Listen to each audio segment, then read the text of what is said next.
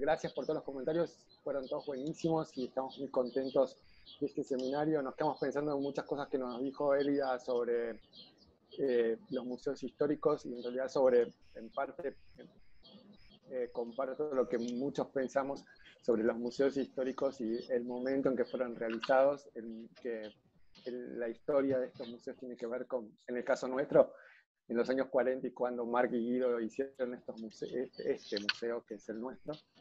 Eh, y hoy vamos a tener un espacio para las preguntas y vamos a poder justamente plantear estas cuestiones.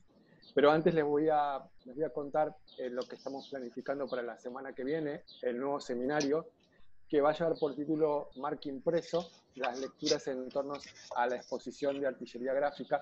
Artillería gráfica es una exposición que inauguramos en, el, en marzo de este año, eh, que nació a partir de una donación, de una donación estupenda que fue el diario El Centinela, el periódico El Centinela, que es un periódico serio jocoso, como así se llamaba, eh, editado en el Paraguay durante la guerra. Y lo que descubrimos, en realidad descubrió Roberto Amigo, que es el investigador, que tenemos unos ejemplares que eran desconocidos hasta, ese este momento y lo que hace que la donación sea estupenda. ¿no? Y lo que vamos a hacer ahora es editar un catálogo digital. Y ahora planificamos, eh, bajo la coordinación de Silvia Dolinco, un seminario eh, mucho más amplio que este, que va a tener tres clases. Una va a ser de Silvia Dolinco, justamente, una experta en grabado, que va a llamarse La gráfica con anclaje histórico, revisiones y expansiones. Después, eso va a ser el 14 de octubre a las 18 horas. Después, el miércoles 21 eh, a las 18 también, Caricatura y Política en el siglo XIX, a, cargo de Laura Malosetti. Eh, y va a tener una intervención de la doctora Alicia Mejías eh, sobre eh, la prensa satírica rosarina del siglo XIX. Y la clase del 28 de octubre va a, ser, va a estar a cargo de Guillermo Fantoni y va a ser sobre episodios de la gráfica rosarina.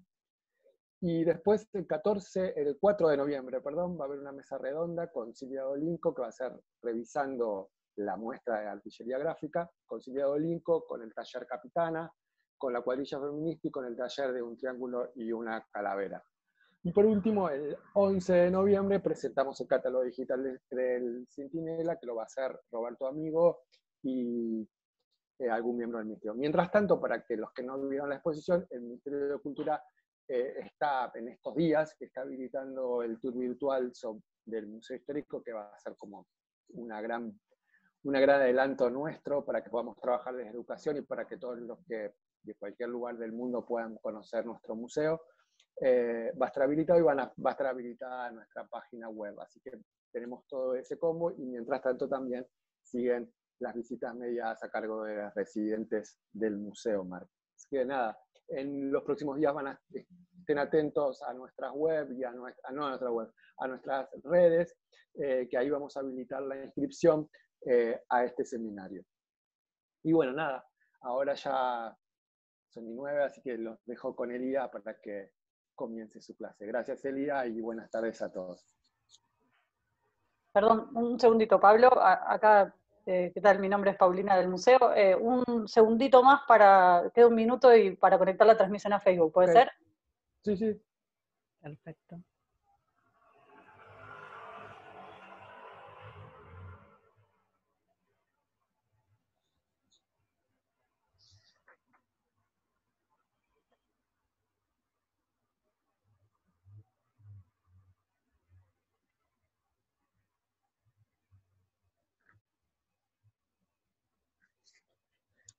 Por las dudas, les aclaro que las clases del seminario de, artillería gráfica, las tres clases van a requerir inscripción y van a ser cerradas por, eh, por Zoom. Lo que va, sí va a estar abierto va a ser, eh, y va, se va a transmitir por Facebook y por Zoom, va a ser eh, la mesa redonda y la presentación del catálogo digital, digo, para que tengan en cuenta la inscripción.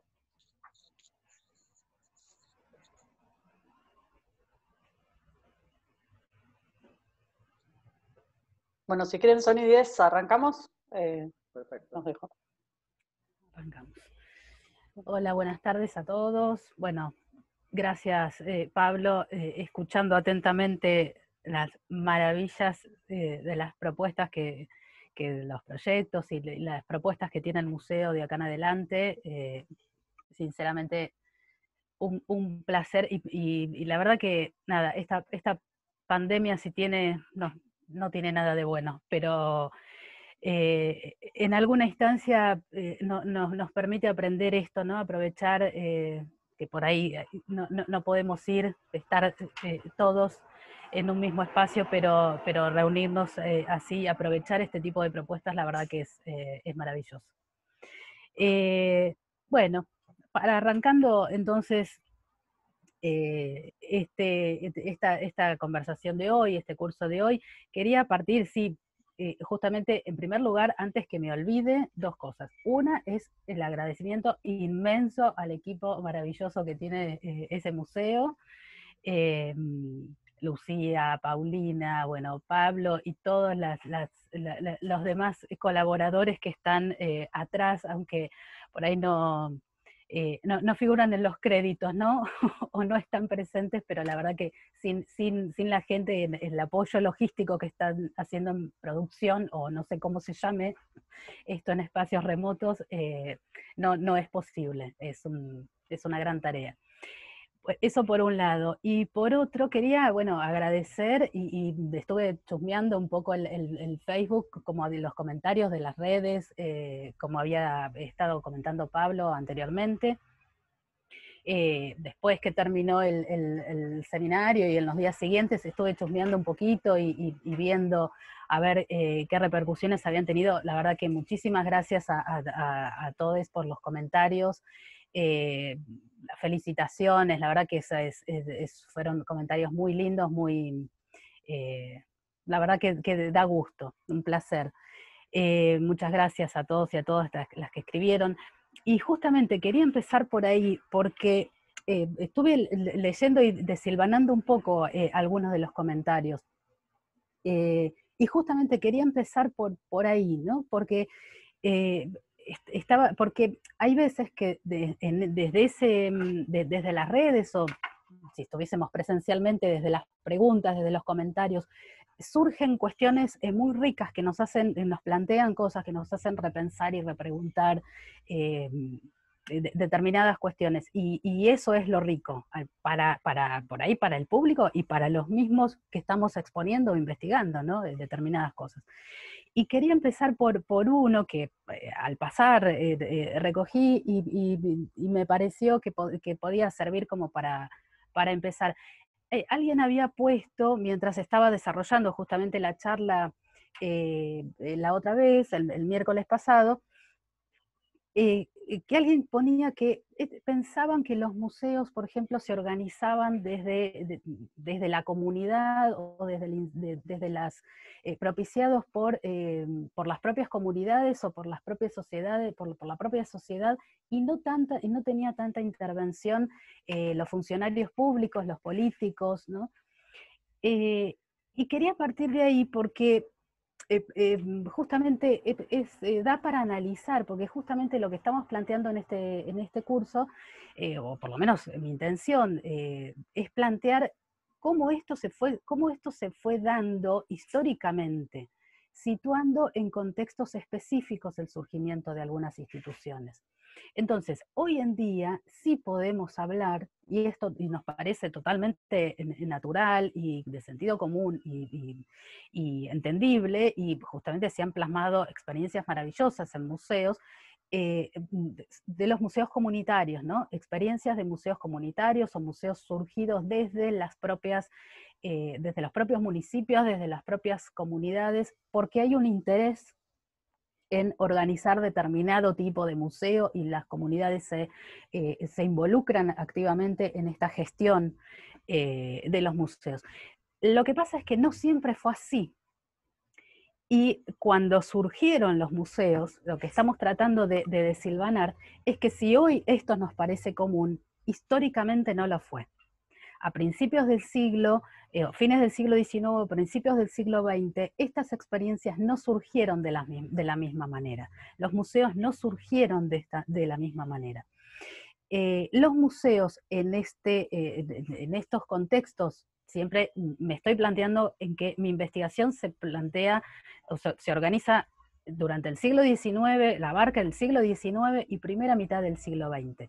Y lo que les quería plantear en esta, eh, justamente en este último encuentro, es justamente estas diferencias entre el ayer, entre ese pasado, entre, entre esos momentos del siglo XX, eh, y por ahí para que nos ayuden a plantear las diferencias con la actualidad. Si nos ponemos, si nos permitimos, a ver si me sale el compartir pantalla, a ver. Eh, ahí voy. Estoy a ver si... Ahí está. Perfecto, ¿no? Si me dicen... Sí, sí. Sí, se ve perfecto. Ok, perfecto, muchas gracias. Entonces, eh, estos museos, vamos, a retomar eh, donde, cortamos el miércoles pasado. 1912, 1913, 1915, 16, lo que vamos a ver es, vamos a tener, en, lo que atañe a museos históricos, estos tres museos organizados.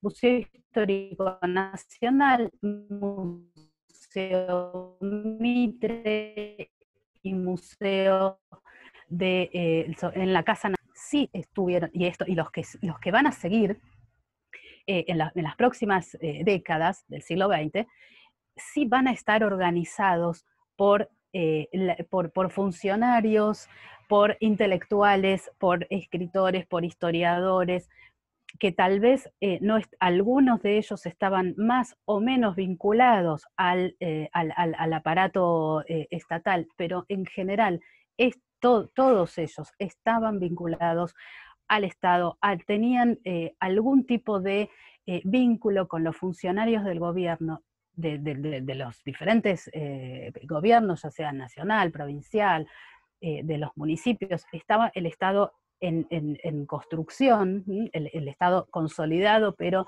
las, eh, reparticiones públicas eh, e, estaban organizándose. Por lo tanto, los museos van a surgir necesariamente vinculados a los funcionarios del Estado en este momento. Eh, ¿Por qué parto de esto? Porque justamente para diferenciar el tipo de iniciativas. En este momento los museos surgen organizados por las élites, por, algún tipo de eh, élite cultural vinculado a las élites políticas de las provincias de la nación. Eh, ¿Cuál era el objetivo?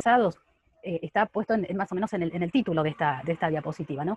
Se trataba de musealizar la organización del Estado para construir una identidad nacional, porque la nación estaba en construcción. Entonces, nos tenemos que situar en este contexto temporal, en este contexto político, es muy específico, y entonces lo que eh, van a hacer estos funcionarios, estos intelectuales, estos historiadores, eh, que, están iniciando ¿sí? en, el, campo historiográfico, en el campo de la recolección de objetos, etcétera, etcétera, eh, lo que van a buscar y lo que van a intentar con esto es justamente tratar de construir, solidificar una identidad eh, para esta nación que está en, construcción. ¿Para qué necesitan a, los funcionarios estatales? Por ejemplo, para que les consigan, para, que, para conseguir las sedes, los edificios eh, a, donde se van a instalar estos museos. No era fácil eh, en, 1900, 1910, 1920 conseguir sedes, un edificio para eh, instalar estos museos que se estaban gestando y que se estaban organizando. No era fácil, necesitaban mucha gestión, muchas, mucha, em, quieren, favores o, favores o eh, intercambios, es decir, tratar de eh, consolidar apoyos para dedicar una construcción, una casa concretamente, unos edificios apropiados, apropiados o no apropiados, un edificio en condiciones para poder alojar colecciones. Esto no era un pequeño detalle, no era fácil en 1900. Entonces, eh, en primer lugar, conseguir una sede, conseguir una mínima renta estatal, una mínima, eh, un mínimo sueldo, salario, fondos estatales para por, ejemplo, mínimamente pagar un sueldo, aunque sea honorífico, al director de ese museo, ¿sí? a, los, eh, a, los, em, a, los, poquitos empleados que podían tener eh, estos museos eh, a principios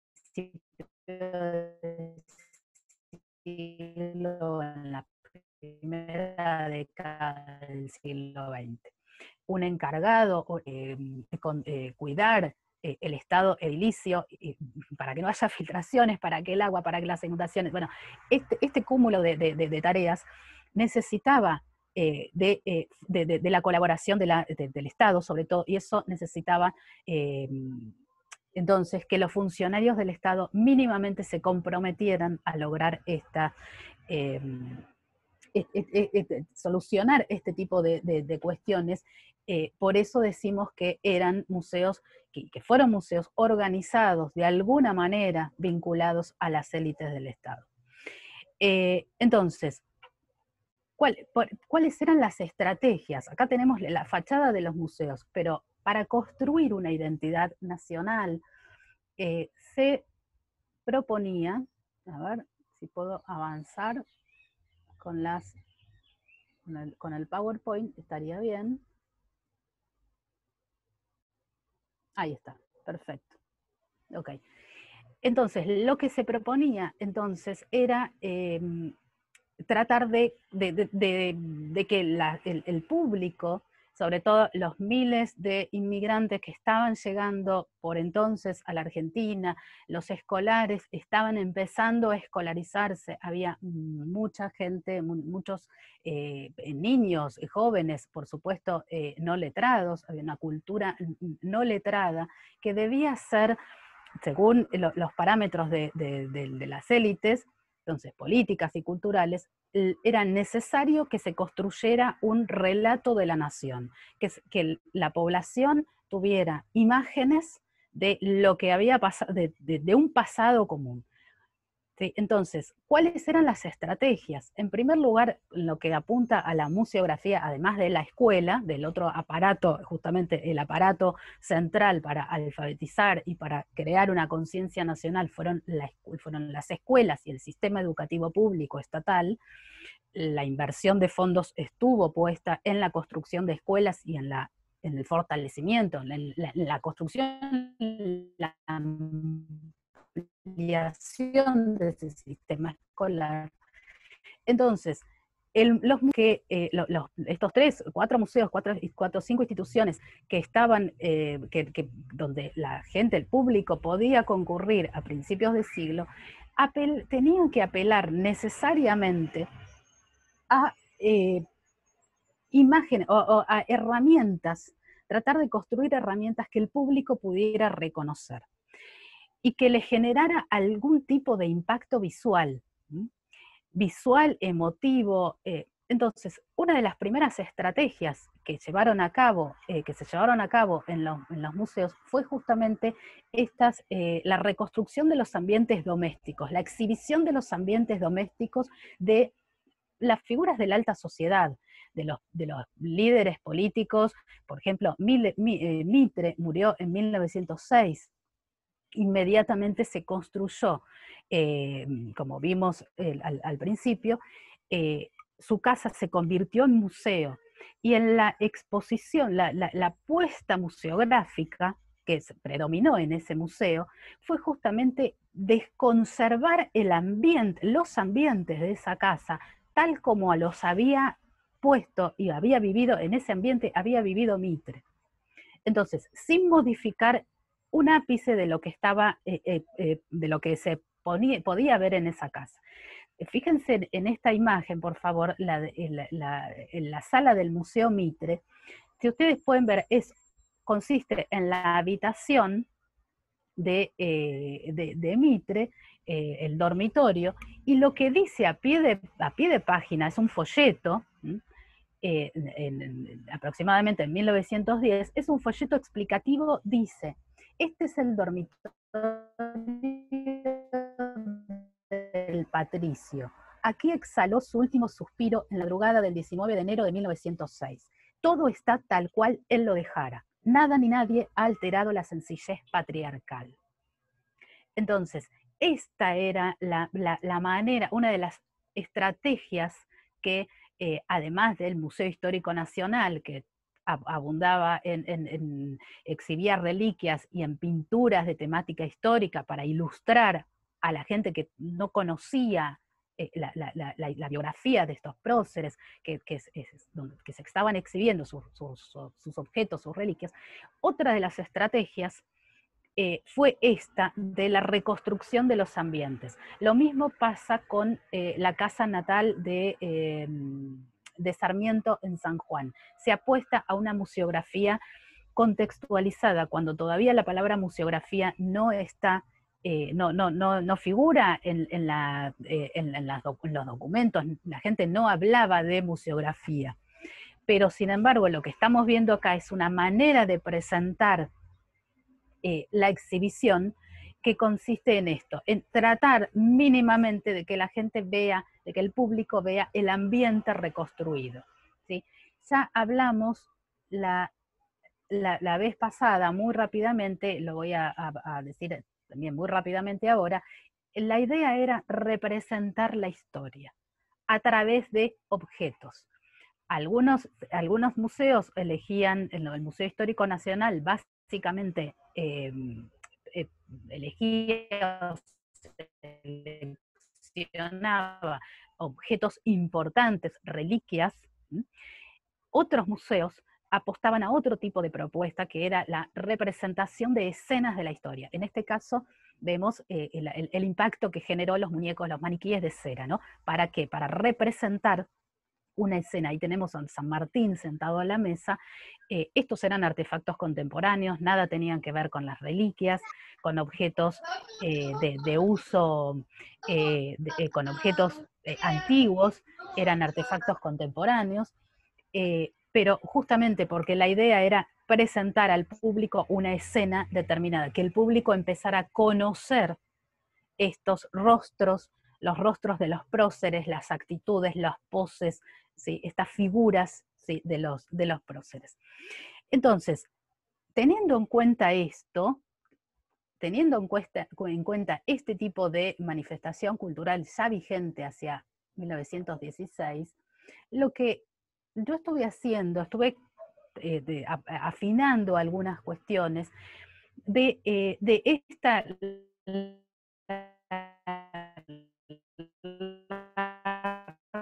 el relevamiento de esta información eh, siguientes, lo que yo estaba tratando de ver es que entre 1918 y 1938 traté de juntar o, recopilar la información de la cantidad de museos que se han eh, formado, que se han organizado en, este, eh, en estos 20 años, que yo titulé a manera de em, una descripción tentativa de los principales rasgos de este periodo, es justamente una museografía moderna, una apuesta museográfica moderna para una tradición, si quieren, política o cultural conservadora.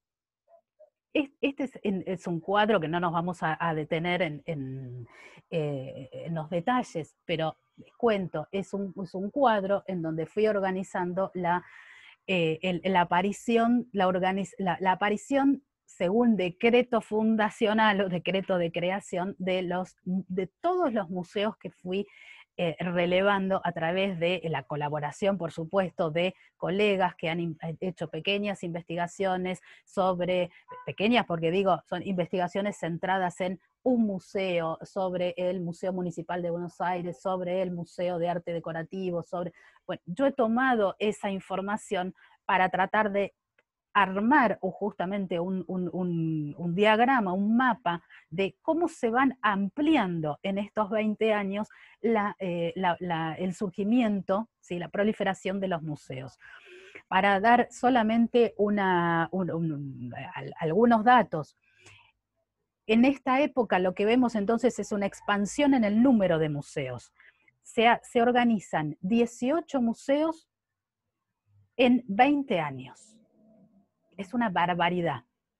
Es una barbaridad. Digo, pensé, esto nos ayuda siempre por ahí, a mí por lo menos, me ayuda a pensar si yo pienso, ¿cuántos museos se organizaron en los últimos años en la Argentina? ¿O en, qué momentos? ¿no?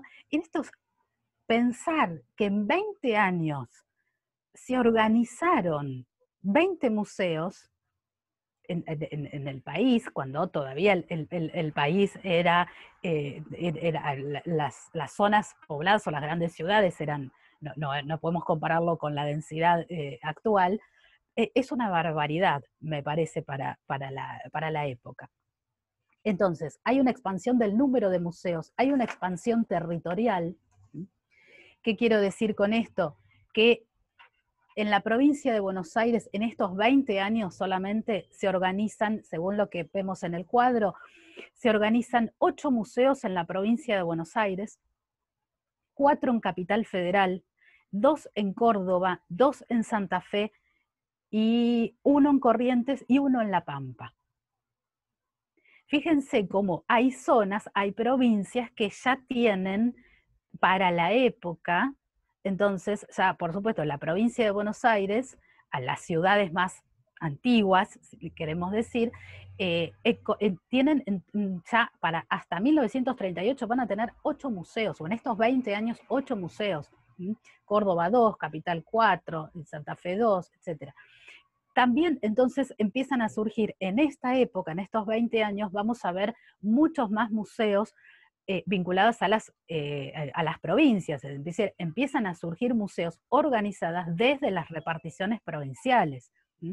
Eh, las provincias van tomando a su cargo, o sea, no es la nación, van a ser determinadas provincias que van a organizar museos y los van a tomar a su cargo, es decir, van a solventar los gastos y a la vez van a, de, ese museo, y a la vez van a, eh, se van a, transformar en eh, museos provinciales, ¿sí? con todo lo que eso significa para el fomento de la cultura y del turismo, etcétera, de esa provincia. Lo mismo con los museos municipales, va a haber en este periodo, van a sí, vamos a, empezar a ver el eh, Municipal de Bellas Artes en Río Cuarto, Córdoba, eh, digo, para nombrar uno a, modo de ejemplo, en Capital Federal, es decir, eh, va a haber muchos municipios que van a empezar, esto era impensado hace 20 años, 20 años antes, municipios que van a solventar con sus fondos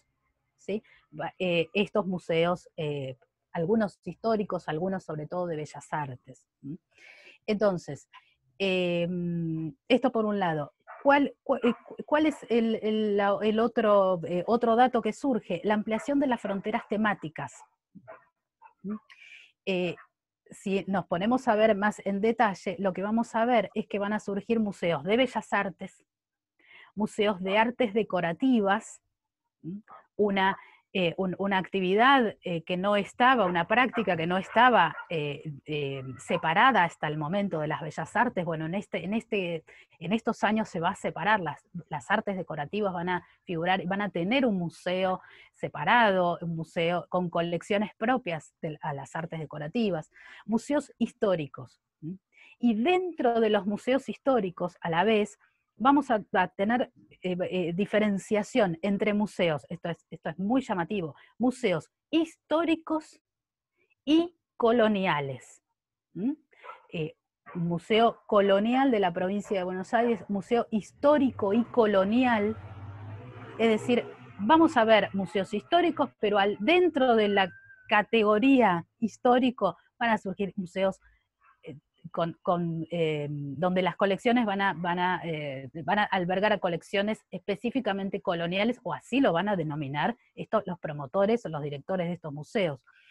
Museos coloniales, museos específicos, de, eh, por ejemplo, el museo con colecciones específicas vinculadas al Acuerdo de San Nicolás, museos criollos y museos gauchescos, Vamos a ver cómo entonces en esta época lo que va mm, a, predominar, lo que vamos a ver, es una ampliación de las fronteras temáticas de las colecciones. ¿no? va a haber solo colecciones históricas vinculadas a la independencia o a la formación del Estado Nacional, sino a otros temas y otras disciplinas que antes no habían aparecido.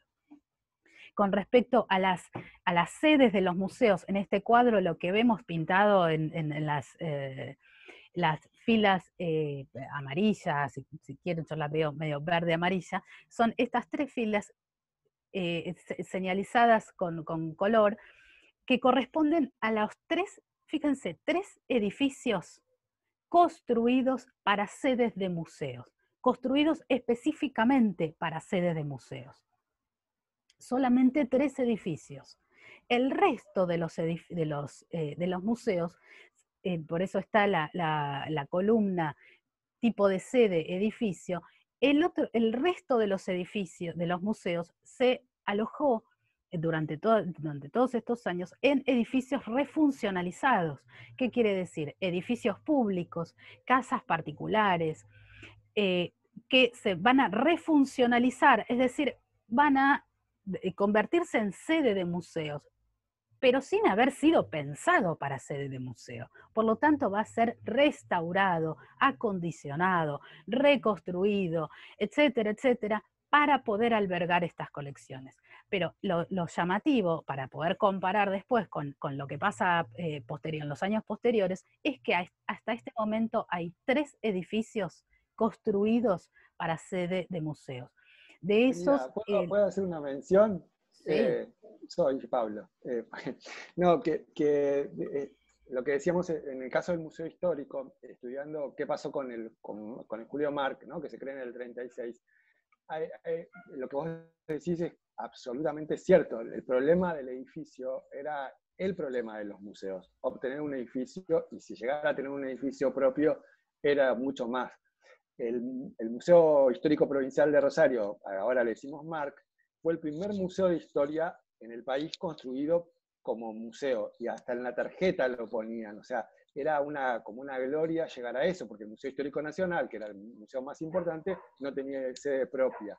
O sea, está proyectado para museo. Tuvo todo un montón de otros problemas, digo, era un museo, era un edificio que estaba siendo eh, que había sido construido para el Museo de Bellas Artes, empezó a construirse, después hubo otra, digo, fue todo un pacto político eh, entre, entre, se sentaron en una mesa Rosa Tiscornia de Castanino y la familia Castanino, Julio Mar y el intendente de la ciudad para pactar los dos museos, o sea, para pactar también el Museo Castanino, que en la lista no está, pero el Museo Castanino se hace en el 37 y también tiene edificio propio. O sea que en Rosario, en, dos, en, en diferencia de dos años, se crearon dos museos terrible, o sea, lo que habrá sido para, también se entiende una diferencia que supongo que después el día hablará de los públicos, ¿no? De la cantidad de públicos que eso generó tener dos edificios, dos edificios muy importantes, eh, y, la gran cantidad para esto en el término de dos años, en el 37 el, el Castanino y, el, y en el 39 el histórico. El Castanino se hizo en solo siete meses,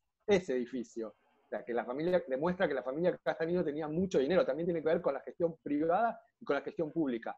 La familia Castanino tenía mucho dinero para hacerlo, empezaron a hacer en abril y lo terminaron en diciembre del 37. Ese edificio que todos conocemos, o sea, wow. Y el museo, el, el museo Marc, el museo histórico, empezó en el 36, pero recién se terminó el 39 porque era de gestión pública y hubo problemas con la empresa. Todos conocemos a la empresa, se llamaba Benito Rollo todos la conocemos. Benito Rollo, en realidad lo que hizo fue poner menos. Sí, sí, una de las primeras grandes obras de la empresa constructora cordobesa, Benito Rollo. Puso menos. Y también genera, es, buenísimo lo que está planteando Elida, porque habría que, un capítulo aparte de los museos son los edificios. en realidad el problema del, museo histórico era que la empresa por primera vez estaba proyectando un, se estaba proyectando un museo, se estaba haciendo un museo. Entonces, eh, Mark decía, no, esta pared no sirve, este vidrio no sirve porque el vidrio va a pasar mucha luz y los documentos, entonces tuvieron que parar la obra varias veces y, poner, aumentar la calidad, aumentar las rejas, la seguridad, bueno, todo un montón de cuestiones que hasta ese momento nunca se había planificado un, edificio de museo. Sí, por eso es muy interesante el caso de Hernández Larguía, que Hernández Larguía hace un distintos tipos de museo. A partir de que hace el Castanino, el arquitecto Hilario Energía, que además fue el primer director del Museo Castanino, y además era el arquitecto de la familia, que había hecho todos los edificios, había un pacto ahí, el Estado le cede a la familia Castanino a hacer todo lo que quisiera con ese edificio. No, nada, era más que eso, pero digo, es tan importante, de hecho, en el año 39, creo que, no sé cuándo, creo que es el 50 aniversario del Museo Histórico Nacional, eh, eh, González Garaño en ese catálogo escribe diciendo que, se lamenta de que edificio propio, que ya en el 39 le resultaba chico al Histórico Nacional y, poco funcional, y que el único museo importante y moderno en su línea, en su diseño, era el Marc hecho por Guido. De hecho, y termino con este cuento, eh, Guido y Marc se terminan peleando en el año 58, en una carta muy sentida que le manda Guido a Marc y a la Asociación de Amigos, diciendo, porque Marc se quería ir a otro edificio, se quería ir al edificio de tribunales. Y, Mark le dice, y Guido le dice que estaba completamente equivocado, que todo lo que había logrado con ese edificio, un edificio moderno, y, lo pondera muchísimo, que había poco, además, lo que plantea Argentina, pero si lo pensamos en una escala americana, a sudamericana, es mucho más valioso todavía tener un edificio propio diseñado, porque todavía no llegamos a esa instancia. Esto tiene que ver con, la historiografía, ¿no? Quiere decir, cuando lleguemos a estas comparaciones pero me parece buenísimo esto de, empezar a pensar y hacer una lista de estas cuestiones referidas a los edificios, ¿no? Nada más. Gracias, Pablo. No, está buenísimo lo que decís. En primer lugar, justamente eh, uno de, los, de, mis principales dificultades, eh, que es un cuadro bastante tentativo, y esto del tipo de sede de edificio, lo agregué en estos días porque lo estoy pensando justamente para, para para poder tener una comparación. Esta columna no la, no la tenía bien armada de todos los museos. Entonces lo estoy empezando a pensar en función de, este curso que estoy haciendo eh, con ustedes. Eh, lo del Museo Castanino no lo agregué porque era exactamente, porque yo veía la, gestión privada y entonces lo que decía era que me faltaba, lo tuve en cuenta y lo pensé, pero digo, entonces tengo que agregar una variable que son los museos privados y, entonces se me amplía la lista. Entonces hay que agregar una columna con el, tema de los museos privados, que es que para esta época ya hay mm, mm, debe haber muchísimos más mm, museos, obviamente, que no, no figuran en, este, eh, en esta lista, que tienen que ver con la obra privada y que posteriormente después pasan a la esfera pública. Pero entonces eh, es, eh, es, maravilloso, por eso no lo incluí, pero lo tuve en cuenta y digo, ¿qué hago? ¿Lo incluyo? ¿No lo incluyo? Es una, ¿Cómo hago con esta variante? ¿no? Eh, por eso está buenísimo y me lo anoté para justamente ir empezando a hacer otra columna, ¿qué pasa con lo privado? Con las obras privadas que van pasando después a la esfera pública, a la administración pública uno de ellos era Castanino, el ejemplo. Y el tema del Museo Marc, tenés razón que en realidad va a aparecer, el Museo Marc va, a aparecer en el otro cuadro del otro periodo, pero vos sabés que con lo que acabas de decir, era una pregunta que después te iba a hacer, eh, porque el, tema empieza a, el edificio y toda la cuestión del museo empieza a plantearse en esta época, es en el 36, 37.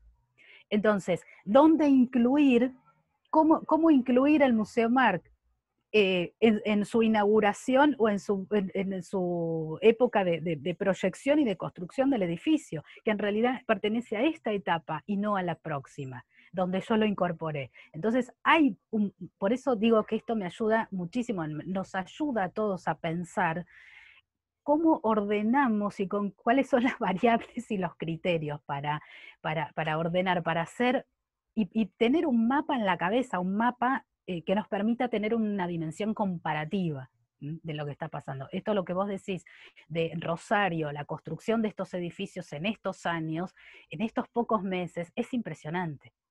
Es realmente impresionante. Así que eh, es exactamente así.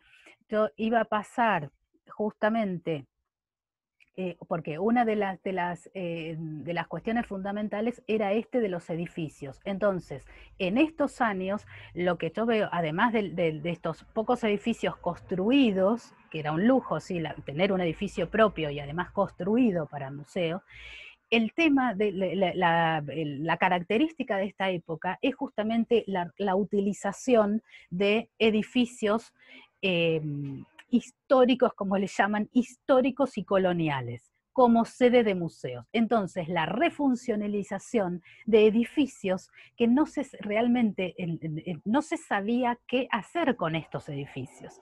Acá tenemos en, este, en esta mm, eh, imagen tenemos, en el caso de Luján, tenemos el, edificio que va a ser sede del Museo Histórico y Colonial de la provincia de Buenos Aires.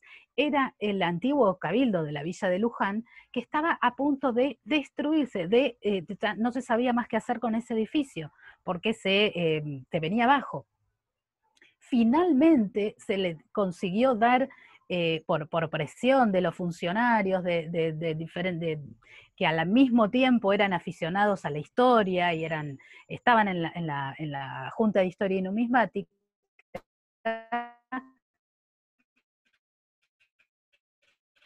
eh, pelea y discusión como sede de museo histórico.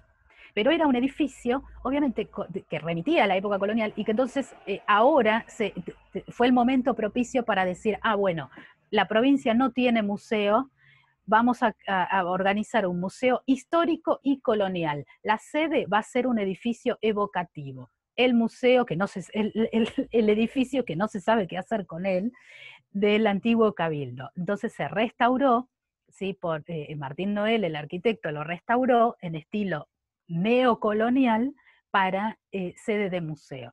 Y lo que vemos, eh, las, dos fotografías de abajo, es muy, es muy, mm, eh, muy llamativo, da para una comparación increíble, porque tenemos la casa del virrey, así se le denominaba en la época, lindera al edificio del, del antiguo cabildo de Luján, era una finca del siglo XVIII donde en 1806 eh, la, tradición y bueno, las pruebas documentales dicen que había alojado una noche al virrey Sobremonte cuando huía hacia Córdoba. ¿no? Entonces, junto con él, en el mismo año en donde se decide eh, que el destino del edificio este del Cabildo iba a ser museo, inmediatamente, meses después, el Estado provincial adquiere también esta casa porque era el primero era un edificio muy, muy chico, y para eh, convertirla también en parte del Museo Histórico y Colonial.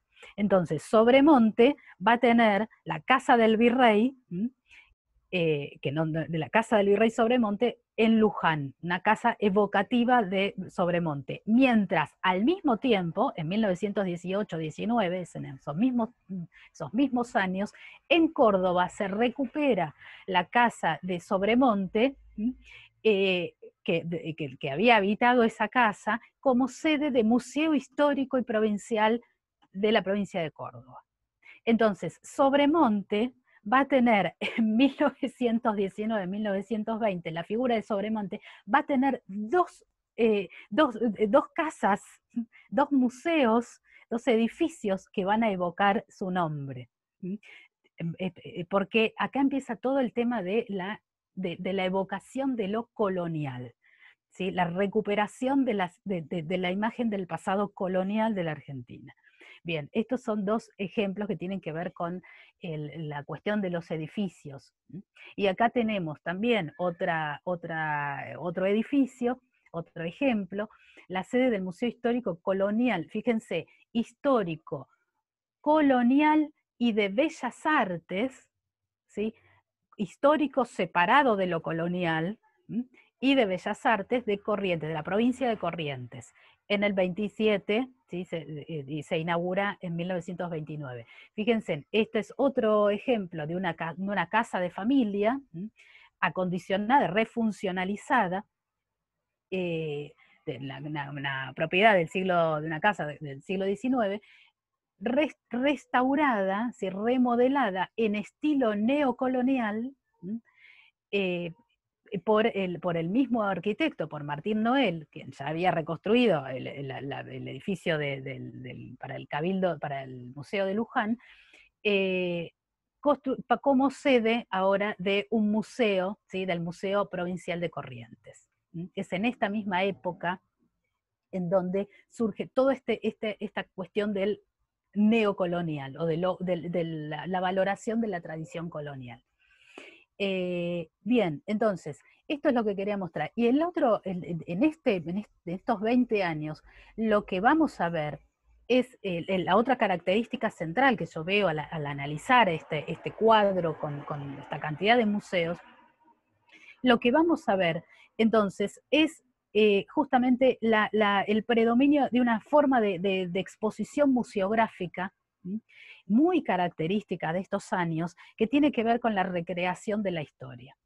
Entonces, eh, esta, esta, esta, forma de, mm, eh, puesta en escena museográfica, que yo la voy a ver no solo en el Museo de Luján, sino en otros museos eh, contemporáneos a este en la década del 20 y, sobre todo del 30, lo que vamos a, ver es esta puesta museográfica, que dista totalmente, e, es el extremo opuesto de la eh, de la exposición de piezas aisladas o de reliquias del Museo Histórico Nacional de, fines del siglo XIX.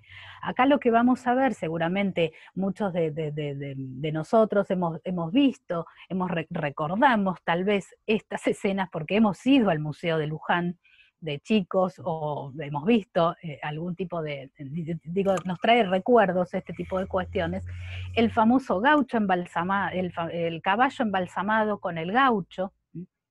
Fíjense, esta sala del gaucho se inaugura en 1925. Y lo que, ¿qué inspiraba? El, el, a ver si puedo correr este, para, verlos mejor, ahí está. Era una, eh, justamente la prisión, ¿sí? el calabozo, el, muñeco puesto, el muñeco de cera eh, del paisano colgado de la horca, eh, ahí en, la época rosista, y entonces en, los años de Rosas eh, y colgado, eh, eh, entonces lo que muestra son escenas de terror. ¿Qué es lo que quiere que se, cuál es la, cuál es la intención de esta propuesta museográfica de, que empieza o pone realmente sobre el tapete, no empieza, pero pone sobre realmente como una cuestión muy novedosa el Museo de Luján organizado por Udaondo, eh, lo, que, lo que se pretende es eh, recrear la historia, escenificar la historia. Pero justamente el objetivo era que la gente al entrar al museo, el público, que es cada vez más masivo, pueda sentir la sensación de que está viviendo en otro tiempo. Él lo que le llamaba, usaba esta metáfora de que el visitante pueda viajar en el tiempo entrando al museo y que genere, este era uno, y el otro objetivo es, eh, como él le, llamaba, que genere sensaciones y emociones, apelar a la emotividad del visitante. Que estas escenas del gaucho generen eh, ternura o cariño o afecto hacia el caballo, hacia el caballo criollo, hacia el personaje del gaucho típico, que genere terror el, entrar al calabozo y ver eh, este, este tipo de paisano puesto en la horca o en el cepo, porque Udaondo y, generalmente los intelectuales, y los historiadores en, esta, en estos años 20, 30, lo que van a apelar, lo que van a eh, tener la convicción es que el visitante va a recordar, eh, va a aprender y a comprender la historia en la medida que genere emociones y recuerdos o sensaciones. Entonces, la idea era provocar sensaciones. Fíjense esta es otra típica, muy típica escena de, reconstrucciones con, figuras de cera en el, Museo de Luján, las típicas damas antiguas, la sala de modas de 1860 con las mujeres eh, bailando el minué y puestas en pose, y como esos mismos, este es un álbum de 1930, y como al, lado en la revista Para Ti, como en el 36, lo que hace la revista Para Ti, la revista para un público eh, básicamente femeninos de la época, era tomar esos maniquíes, sacarlos del contexto del museo y reproducir estas imágenes ¿sí? Como si fuese, como si ahora ya lo que se trata es de evocar la fiesta del Buenos Aires antiguo, la imagen de cómo se divertían las élites, las mujeres de la alta sociedad. Y acá vienen seguramente el tema de las damas antiguas y las tertulias y todo lo que se interpreta después en los actos escolares. Eh, bueno, vienen de esta época y se representaba con muñecos de cera, con maniquíes de cera, con atuendos eh, de que, la ropa era donada por la alta sociedad, cuando fallecían las mujeres de la alta sociedad, donaban generalmente estos, eh, e, esta ropa para que se les fueran puesta a los maniquíes y exhibidas en la sala de moda del museo. Esta es otra típica postal del, Museo de Luján. Fíjense cómo acá las salas del Museo de Luján apuestan también a, la, em, eh, a las figuras de, personajes conocidos, políticos, intelectuales, reconocidos, o que se buscaba que la gente recordara, eh, como por ejemplo el, escritor Ricardo Huiraldes tenía una sala en el museo, él no estaba personificado, no, estaba representado en muñecos de cera, pero sí estaba en la sala de, su, de la sala de trabajo.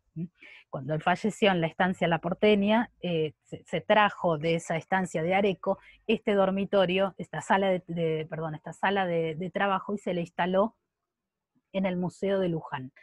En la, mm, en la fotografía continua, es la sala Uriburu.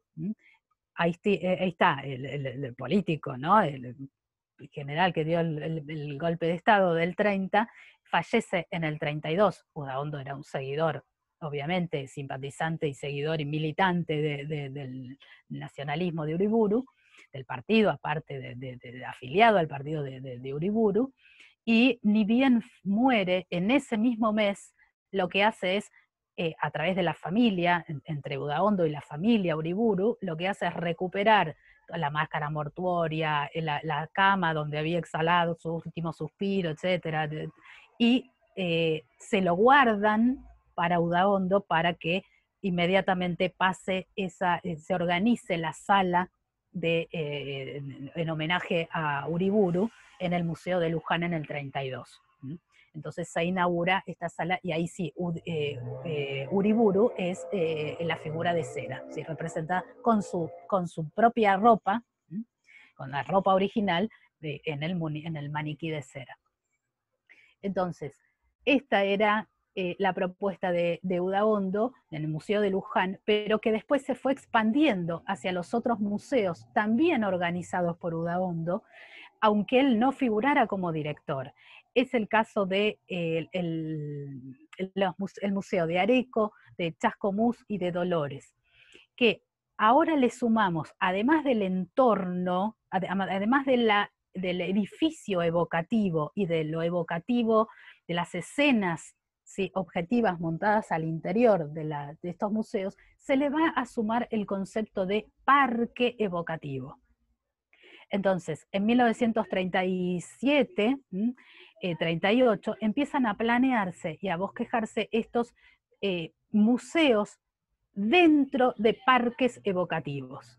En este caso, el Museo eh, Gauchesco, dentro del Parque Criollo de Areco, va a tener un museo gauchesco en homenaje a, a, Huiraldes, y en el Parque Libres del Sur tanto de Chascomús como de Dolores, se van en parques libres del sur porque son parques evocativos de un acontecimiento, ¿sí? la revolución de los libres del sur de 1839, eh, de los estancieros contra Rosas.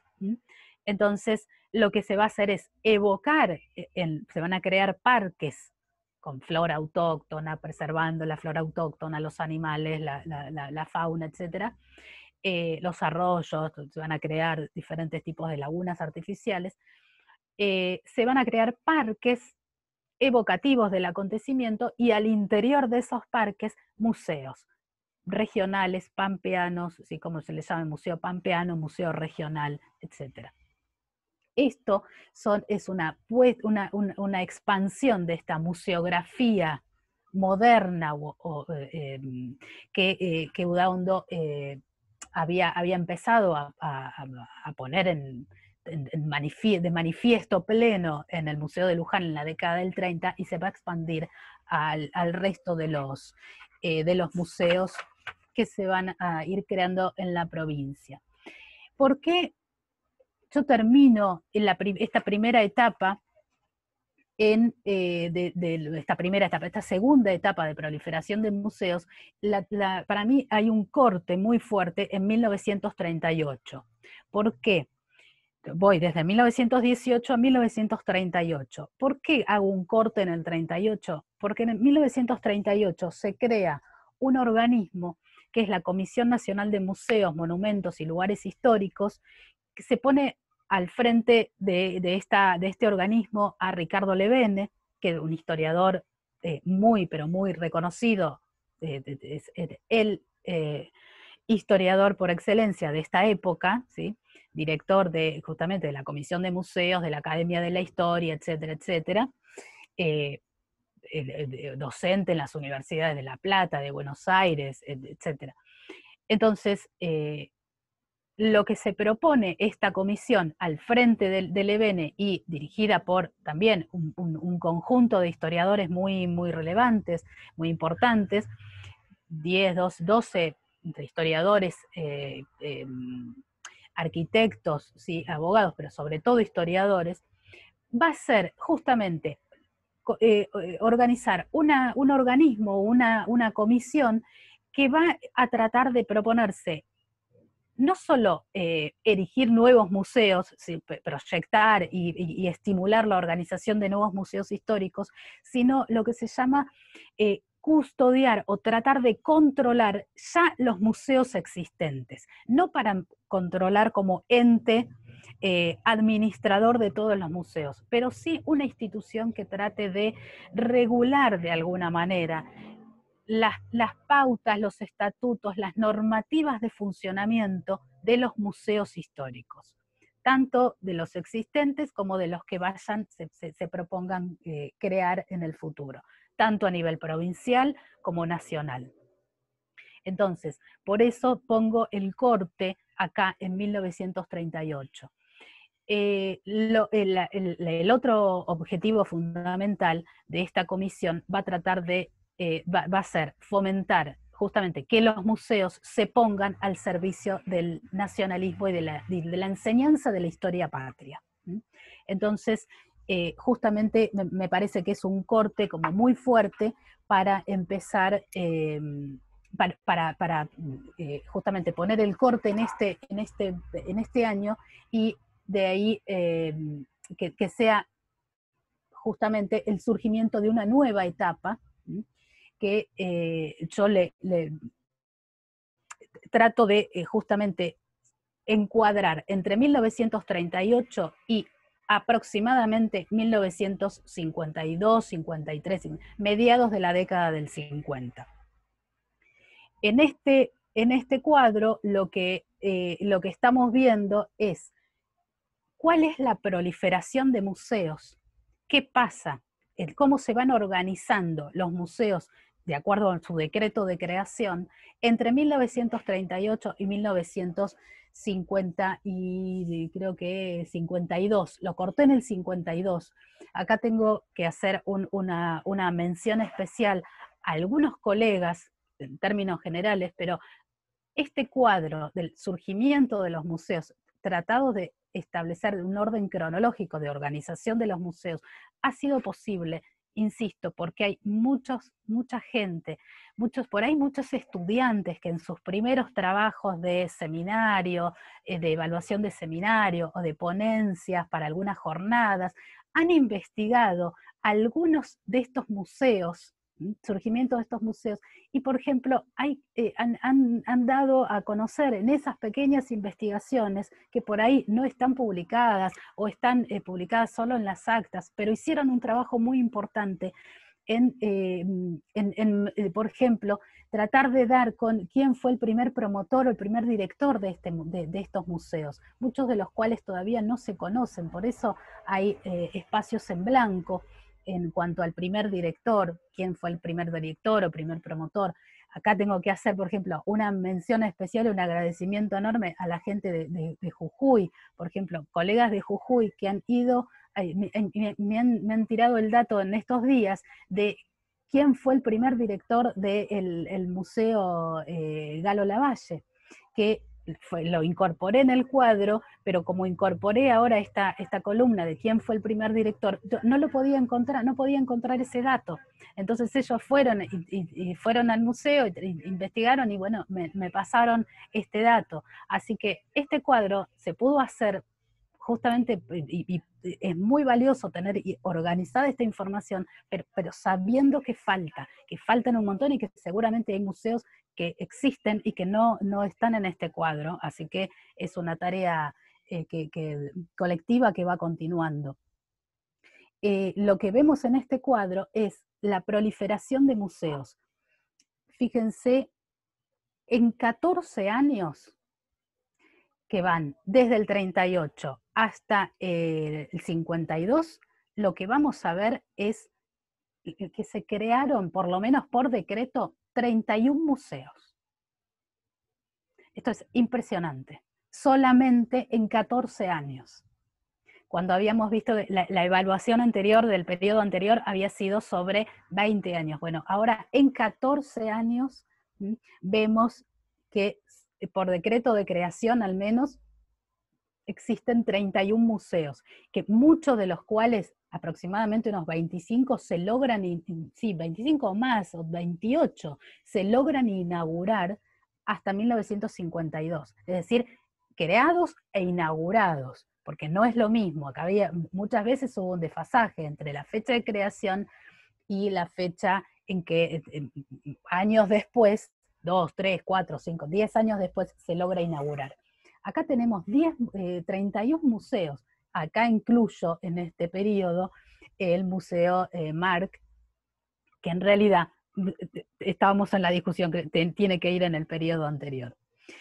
Entonces, con respecto a la distribución del territorio, se sumaron museos, de acuerdo a este cuadro, en las provincias de Jujuy, Salta, Tucumán, Entre Ríos y Río Negro, donde no había museos históricos, se suman en esta, en esta época, entre el 38, 39, 40, 41, surgen, entonces, hay provincias que suman museos, que, e, erigen sus primeros museos, y hay otras, otras provincias que suman, ¿sí? como el caso de, Santa Fe, por ejemplo, suma, incorpora nuevos, eh, nuevos museos. Em, ¿Qué otro dato? La ampliación de las fronteras temáticas por el nombre de los museos he tratado de respetar, van a ver, se, ve en detalle, que no lo van a poder ver en detalle, pero yo traté de respetar, o lo, hice, más que traté, eh, el nombre original con el que los creadores o directores que surge en el decreto de creación, que muchas veces difiere, seguramente va a diferir del actual nombre, del, del museo actual. El Museo Marc está, eh, por ejemplo, dice Museo Histórico y Provincial. Con ese nombre surge en ese momento. Después se le pone, se le agrega el, otro. Cuando Pablo se le, se le coloca. En realidad, el, decreto, de, el decreto de, funda, de, de, fundación es del año 36, de noviembre del 36, que se, se dirige una comisión honoraria para formar museos y lo hace como museo científico, en realidad, que tenga tres secciones historia natural, historia y eh, etnografía, creo que era la tercera.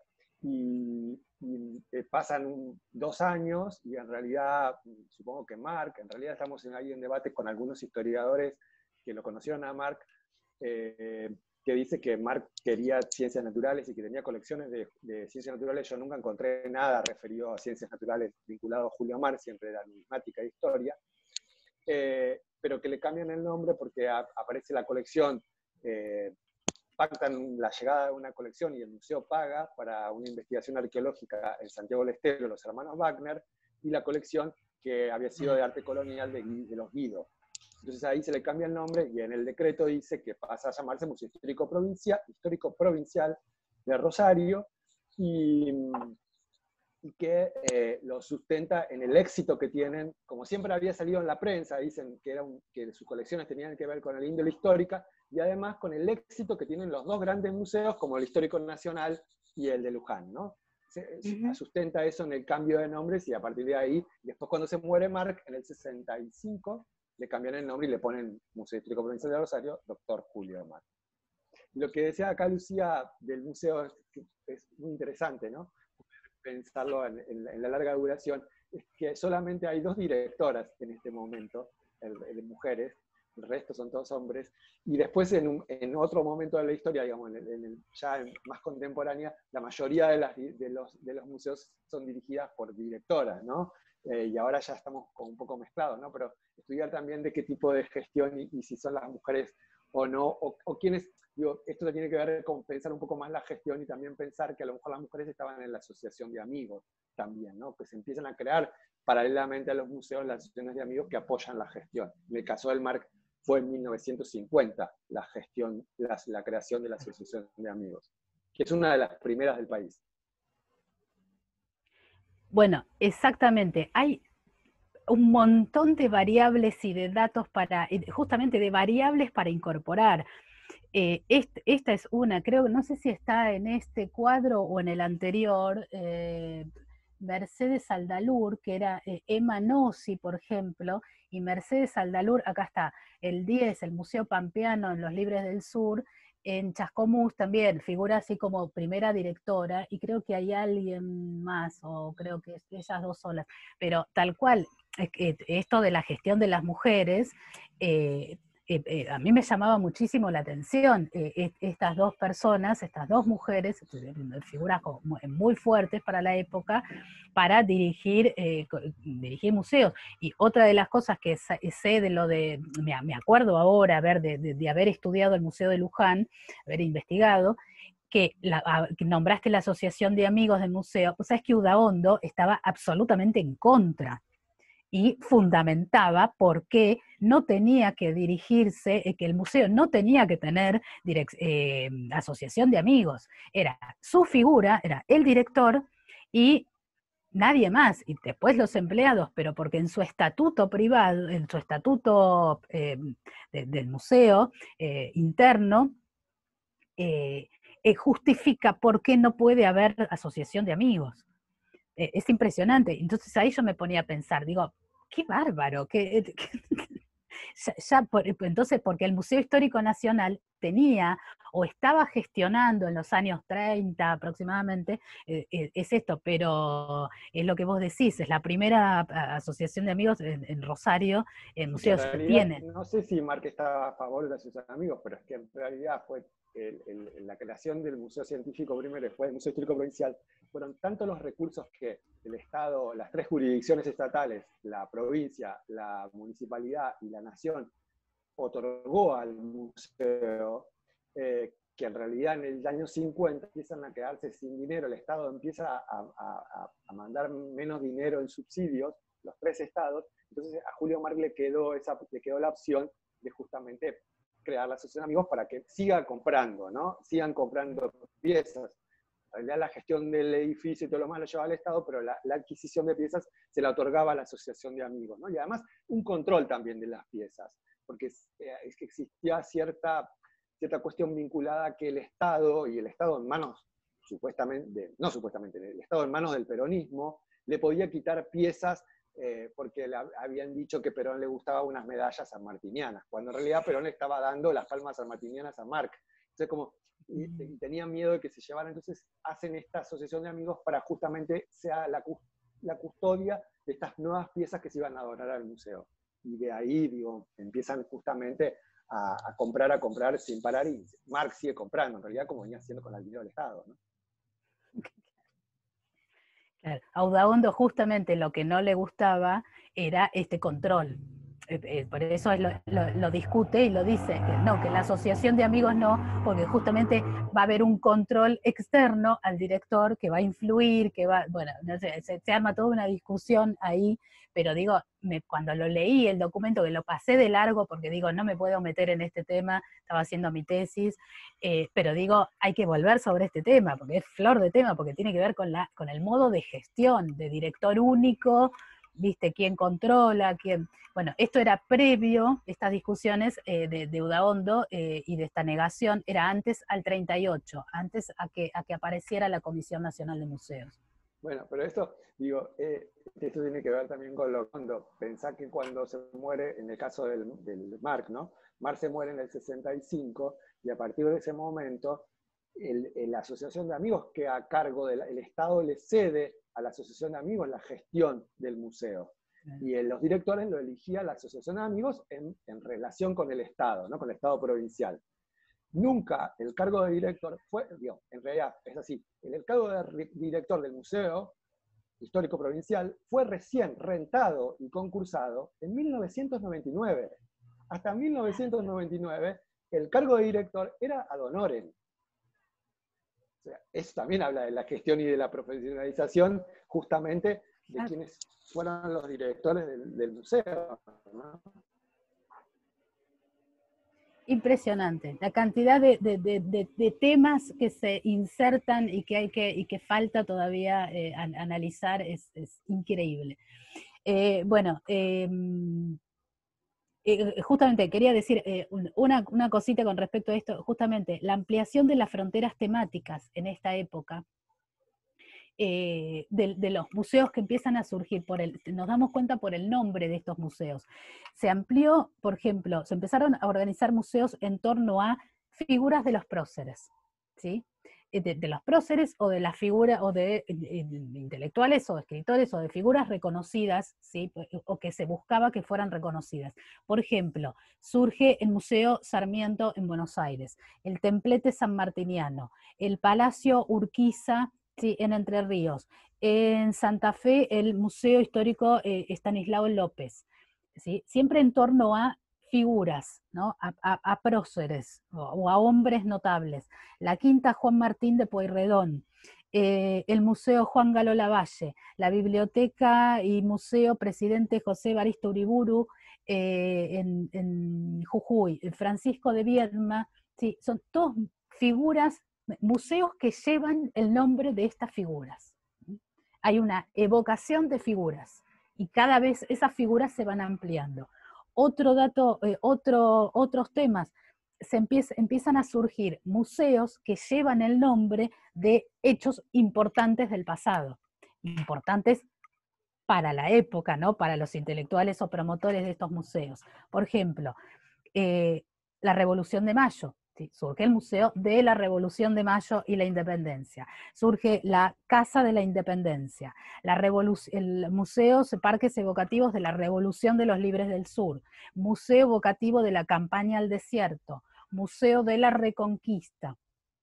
Entonces, lo que vemos es una, no solo se va a recordar en los museos la Revolución de Mayo y la Independencia, o los años coloniales, la época colonial, sino un montón de acontecimientos o una gama de acontecimientos que van surgiendo para ser conmemorados a través de la apuesta museográfica o de específicamente de la organización de un museo particular con una colección evocativa de ese hecho, por ejemplo, de la, eh, de la campaña al desierto, ¿sí? Museo Regional de la campaña al desierto, Museo Provincial de, eh, Museo de la Reconquista. Eh, ya no hay una sala o una vitrina eh, o un espacio para el acontecimiento, sino un museo específico dedicado a ese, a ese tema. También otros temas. En este cuadro vemos museos regionales, museos folclóricos, un museo de aduanas y puertos de la nación, un museo jesuítico, un museo rural, vamos viendo cómo la amplificación de temáticas se van amplificando y diversificando las, eh, las temáticas de los museos. Y respecto a la, museografía, continuó entonces afianzando, afianzándose cada vez más la puesta museográfica evocativa. acá eh, la Comisión Nacional de Museos, eh, presidida por Levene, lo que apostaba era a diferenciarse de esto. Esto es la apuesta museográfica tradicional, el Museo Histórico Nacional en el 39.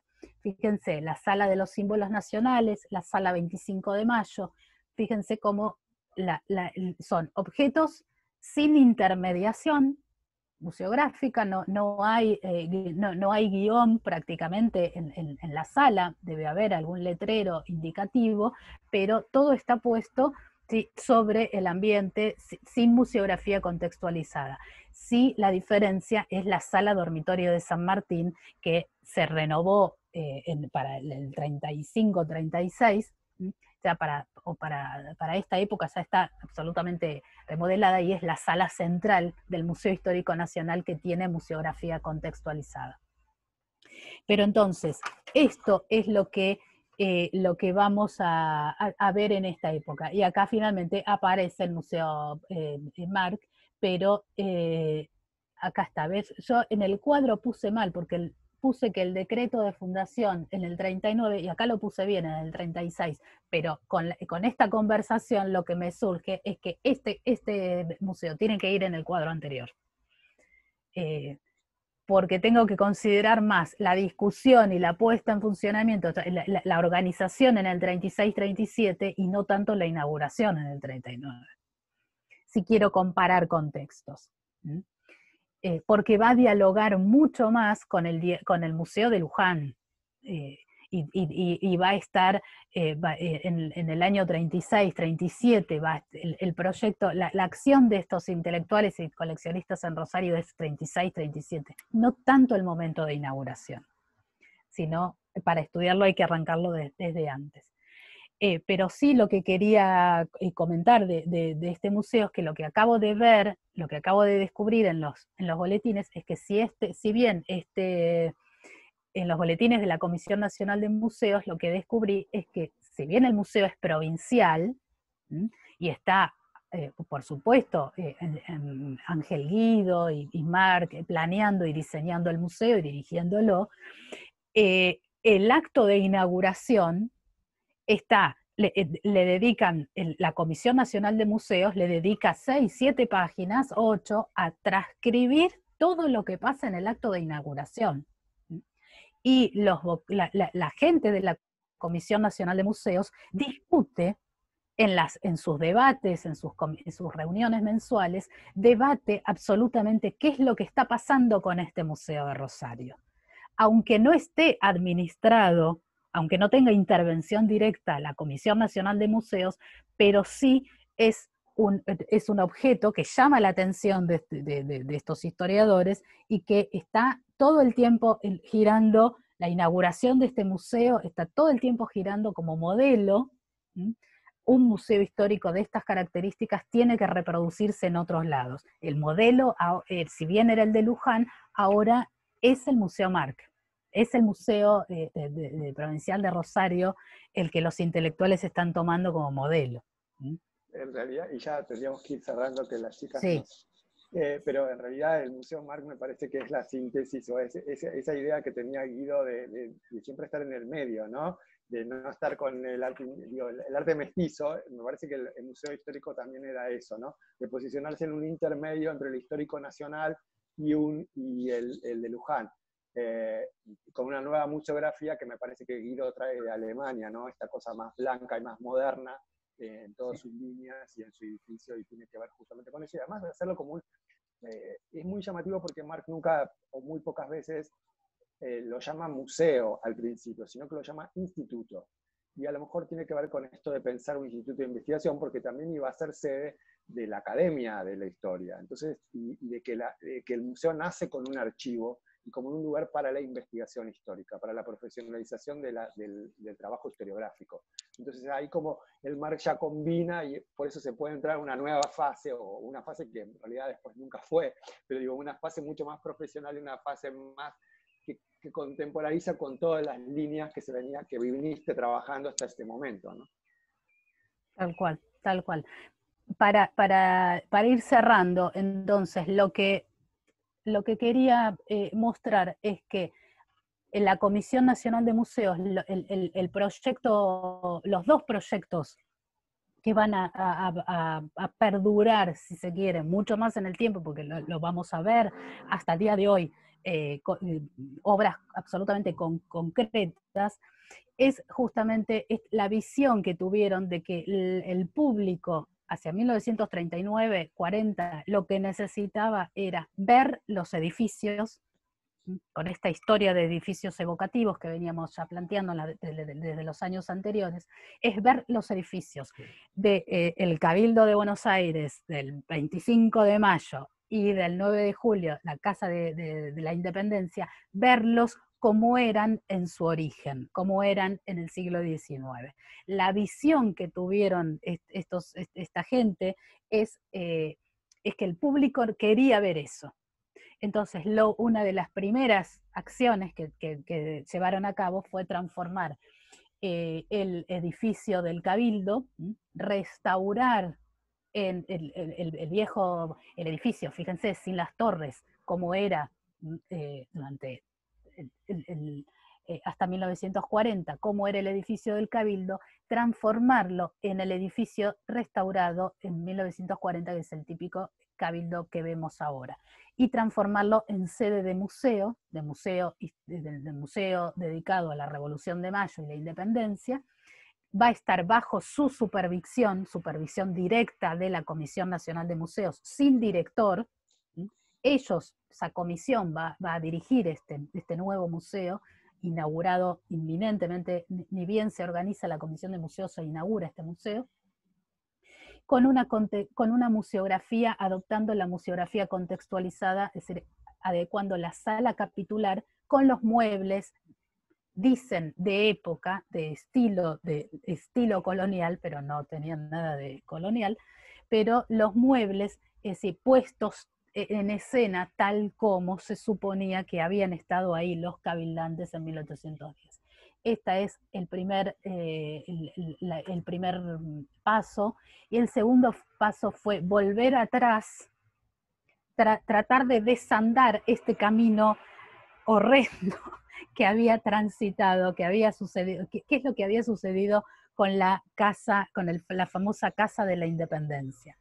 Eh, esto es, por supuesto, este, este, templete es el que va a, estar en el espacio tucumano, en la, ciudad de Tucumán entre 1904 y 1940, y lo que se proponen eh, justamente la Comisión Nacional de Museos es llegar otra vez a tener la vieja fachada, la fachada icónica aquella que se había demolido en, 1873, que se había tirado abajo, eh, pero que sin embargo había perdurado como imagen icónica en, billetes, en, libros escolares, en monedas, etcétera, etcétera, en cuadros, etcétera, eh, repusieron, es decir, eh, tiraron abajo el templete y construyeron en base a los planos originales una nueva casa histórica. Es impresionante el proceso de construcción de una nueva casa histórica. Una casa histórica que estuvo, que no estuvo en el espacio durante 70 años, la fachada que estuvo 70 años sin estar, pero que sin embargo eh, quedó icónicamente esa fachada. Bueno, la visión de Levene fue, fue de Levene y Bustiazo y eh, quienes hicieron este trabajo de recuperación de eh, justamente es construir un edificio nuevo como si fuese histórico. Entonces, estos dos... Eh, Perdón, eh, una sola cosa que es genial para esto, que siempre es, un ejemplo buenísimo. lo que hace Guido en el año 27 para la casa de Ricardo Rojas es rehacer el frente de, la, de la casa de Tucumán con un criterio estético no tan histórico, sino más bien estético de lo que tenía que ver él con el arte mestizo y su idea, digamos, artística. Y en realidad la, casa de, Ricardo Rojas, hoy convertida en museo Ricardo Rojas, es más antigua que la casa de Tucumán, que el museo de la casa de Tucumán, porque es del 27. y son dos remake, digamos, de esa misma pieza histórica que se derrumbó en la, a finales del siglo XIX. Es muy interesante el caso. Es muy, es muy, es muy, eh, es divino, es divino ese caso.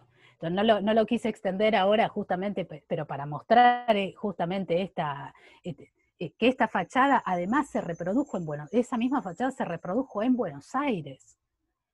Es decir, cuando no estaba en Tucumán, es una historia absolutamente maravillosa.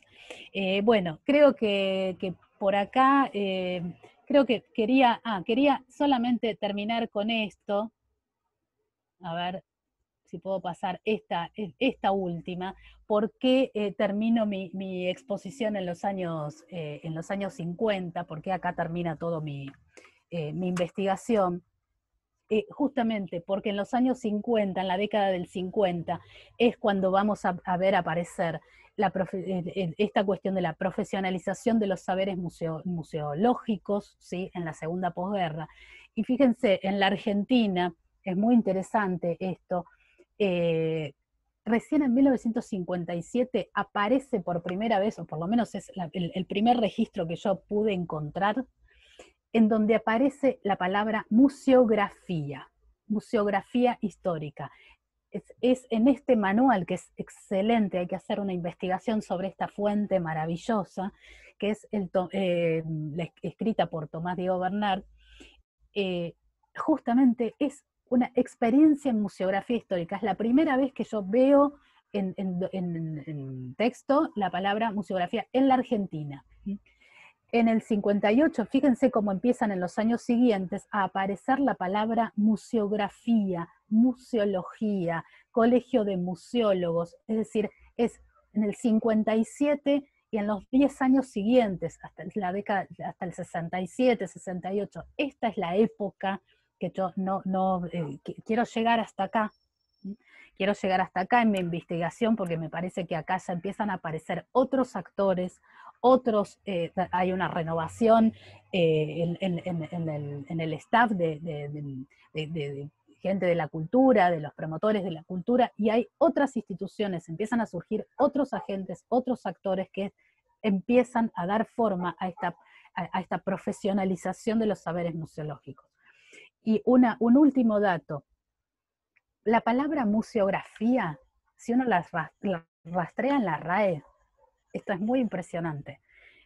La, va, a aparecer, va a aparecer por primera vez en, la, en 1855, con una definición que es catálogo, descripción de uno o más museos. fíjense, recién en el 1956, 100 años después, va a tener la primera modificación sustancial en su, en su concepto, en su definición, y va a aparecer como estudio de la construcción, organización, catalogación instalación e historia de los museos. Es el mismo momento, en 1956, el mismo momento en donde en la Argentina aparece la palabra museografía. Esto es súper, me, pareció súper interesante. Recién en 1984, esto me pareció súper, muy moderno, Pablo, es lo que decíamos recién, muy moderno todo.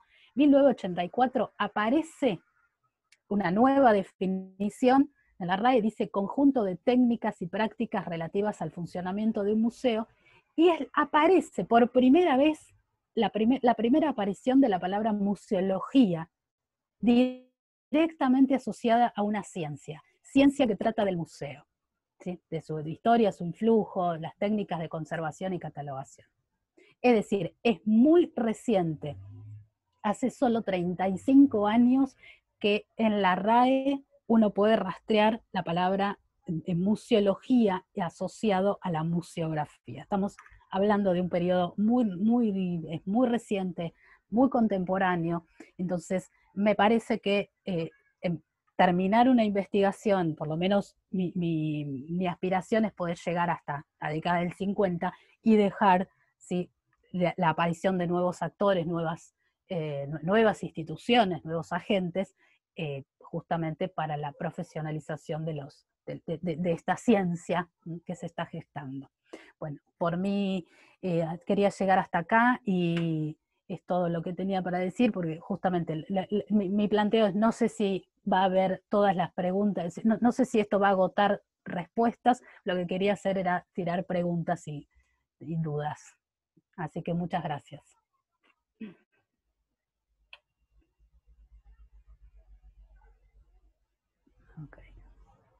Eh, ¿Pueden eh, abrir los micrófonos eh, si quieren, que quiere preguntar algo?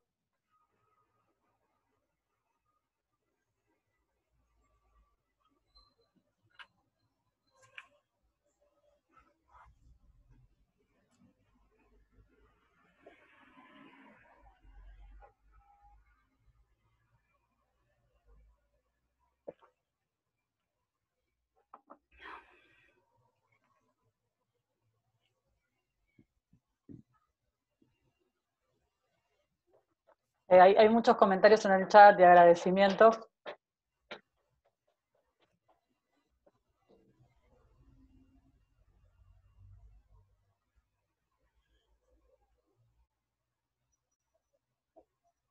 Bueno, muchas gracias por los comentarios que están poniendo. Es un placer.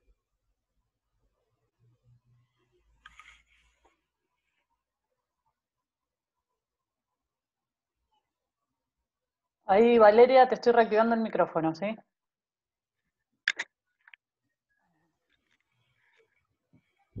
No se te escucha. A ver. Ahí. Sí, ahí está. Sí, una cosita que se me perdió en la, no sé si la otra vez, eh, bueno, o no la anoté. Vos eh, hacés una periodización entre, eh, la primera periodización entre el 18 y el 38 era, el primer recorte digamos, hasta la creación de la Comisión Nacional, digamos, ¿no? El primer recorte lo planteo directamente desde para los museos históricos, 1889, ah. la aparición del Museo Histórico Municipal o de, la capital, hasta 1916-17. Y ese corte ahí, no, no sé por qué ese corte, del 16, 17.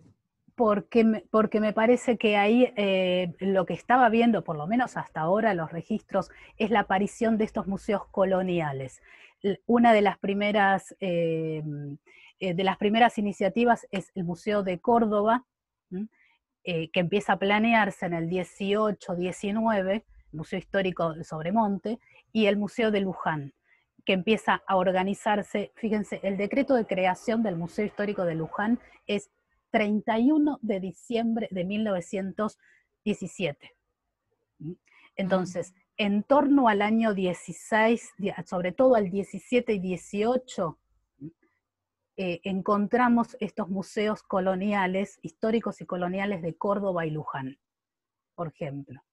Ahí yo encontraba un corte bastante fluido eh, y después surge el museo, eh, mm, hay toda una discusión sobre qué es el colonial en torno al, al año 1919, qué es el estilo colonial, qué serían los museos coloniales. Surge el museo, eh, el que ahora es el, el histórico Saavedra, en 1921. Hay toda una movida ahí en torno al año 18-19. Por eso yo había puesto en corte tentativo en el 16.